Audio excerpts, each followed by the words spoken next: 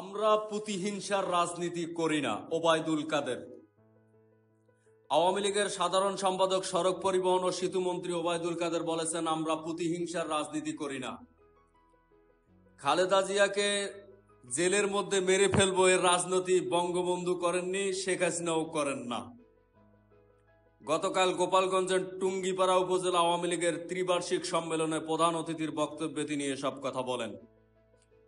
সম্মেলনে আবুল বাসার খায়েরকে সভাপতি ও মোহাম্মদ বাবুল শেখকে সাধারণ সম্পাদক করে টুঙ্গিপাড়া উপজেলা আওয়ামী লীগ এবং শেখ সাইফুল ইসলামকে সভাপতি ও ফোরকান বিশ্বাসকে সাধারণ সম্পাদক করে পৌর আওয়ামী লীগের নতুন কমিটি ঘোষণা করা হয়। ওবায়দুল কাদের বলেন, খালেদা জিয়ার অসুস্থতা প্রসঙ্গে বেগম জিয়ার স্বাস্থ্য সম্পর্কে দলের লোকেরা বলেন একটা আর চিকিৎসকরা বলেন আর একটা। চিকিৎসকরা বলেন তার স্বাস্থ্য নিয়ন্ত্রণে আছে। আর দলের লোকেরা তাকে অসুস্থ থেকে আরও বেশি অসুস্থ বানিয়ে যতটা না চিকিৎসার জন্য ভাবছে, তার চেয়ে বেশি রাজনীতি করছে।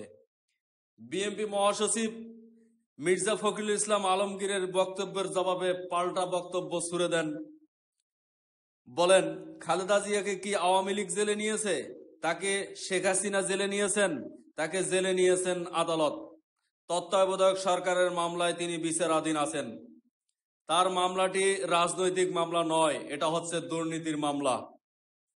রাজনৈতিক মামলা হলে সরকার তার মুক্তি নিয়ে বিবেচনা করতে পারত। দুর্নীতি মামলায় তাকে মুক্তি দেওয়ার একমাত্র এখতিয়ার রয়েছে আদালতের, আমাদের না।